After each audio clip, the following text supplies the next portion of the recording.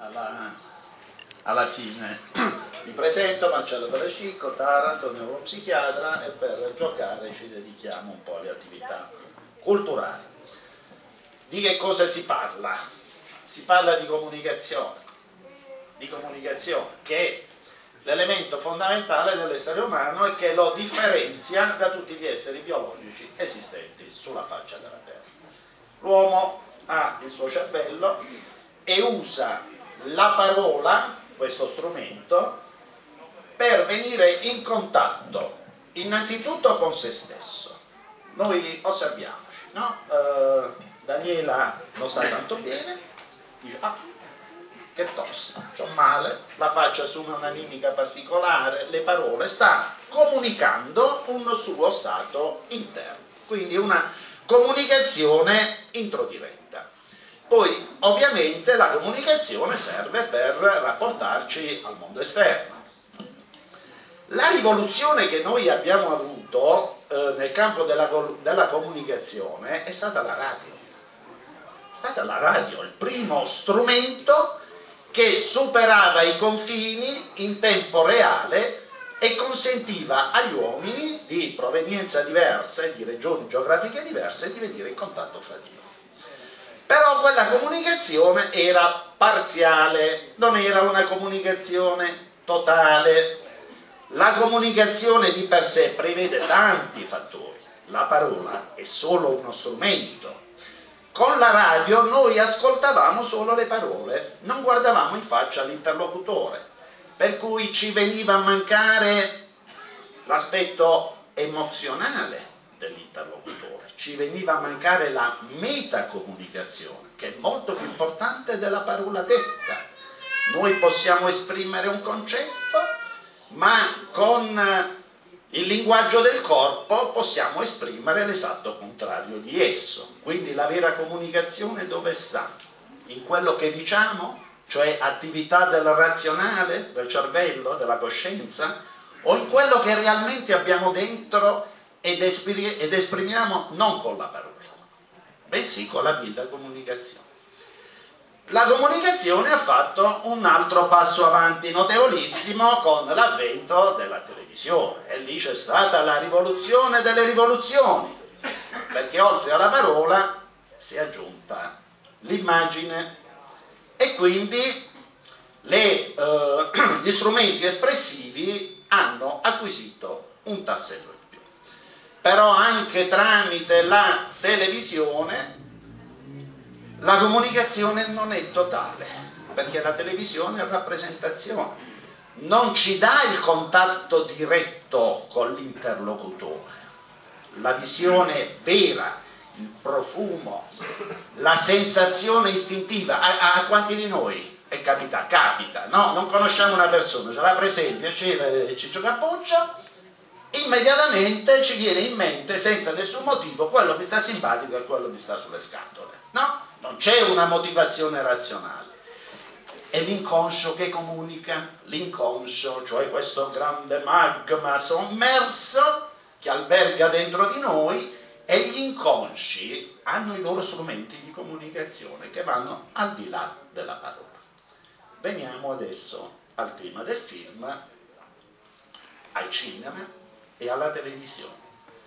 Altro non è quello che uno strumento di amplificazione di tematiche che ci portiamo dentro.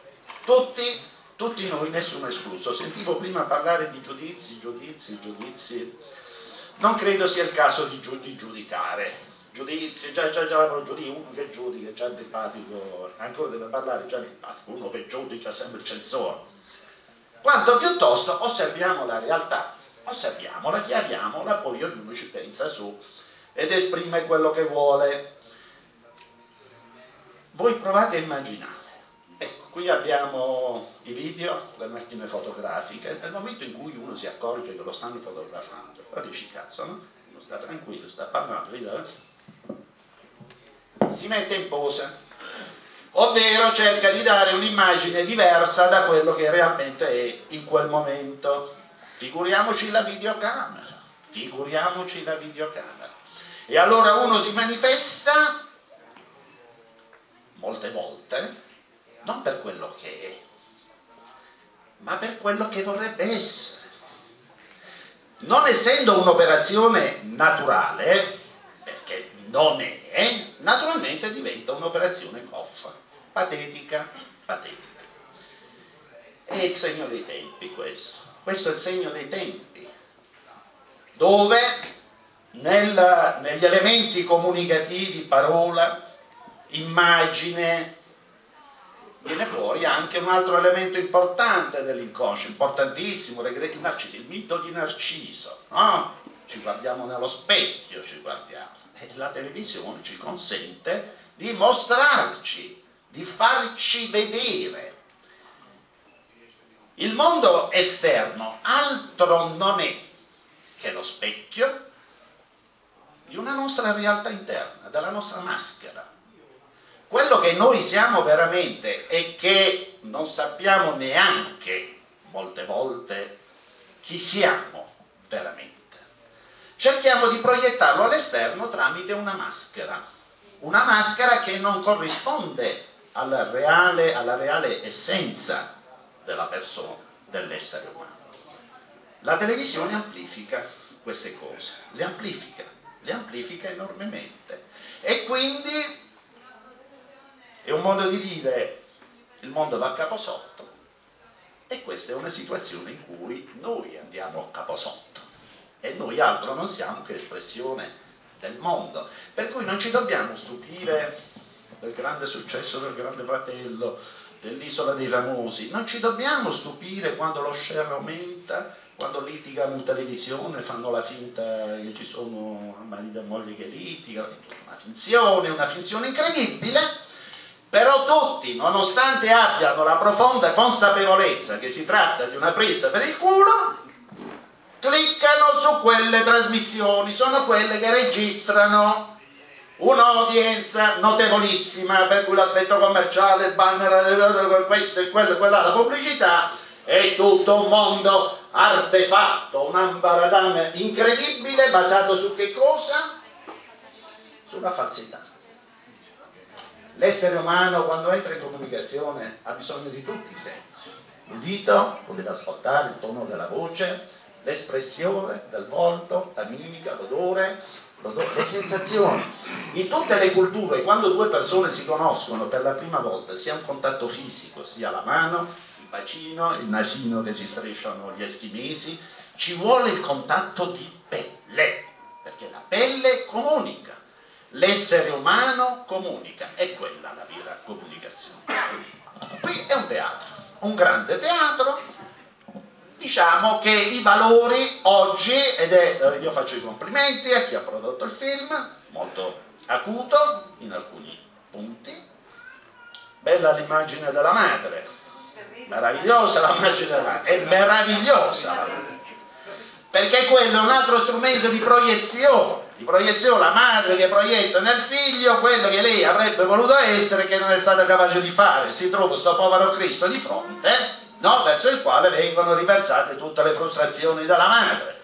Vita di tutti i giorni, vita quotidiana. Quindi abbiamo assistito a uno spaccato del, della vita, della reale. Oggi c'è il mondo di internet, il mondo della televisione, la rete, questa enorme comunicazione, un polipo, una piovra che appoggia il mondo, ma quella soddisfazione, quel piacere sottile che ci viene dal fare una conoscenza, piacere, con bacino. Quella non potrà mai essere sostituita da nessun strumento tecnologico.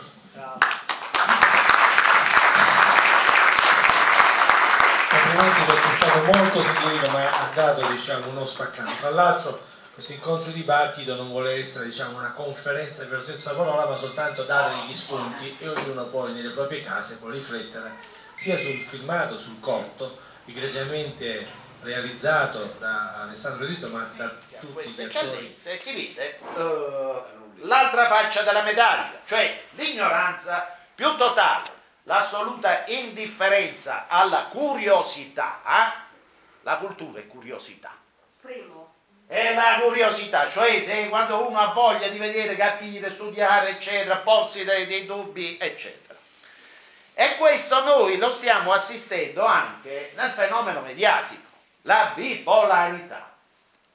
Noi vediamo queste cose spinte al, alle estreme conseguenze, che non è altro che un simbolismo di tipo ipomaniacale, no? Tu riempire tutto di tutto e di più. La, questo, questo, estremo bisogno di riempire ha alle spalle un vuoto assoluto. L'ipomaniacale non si deve fermare per pensare, perché nel momento in cui pensa va in depressione, vira e se ne va dall'altra parte. Per cui deve sublimare, deve esorcizzare questo pericolo con l'iperattività quanto più apparente essa possa sia. Per cui ci vediamo tutte queste, uh, queste uh, a proprio una, una riflessione, l'intuizione del, uh, dell'omicidio, dell'omicidio globale.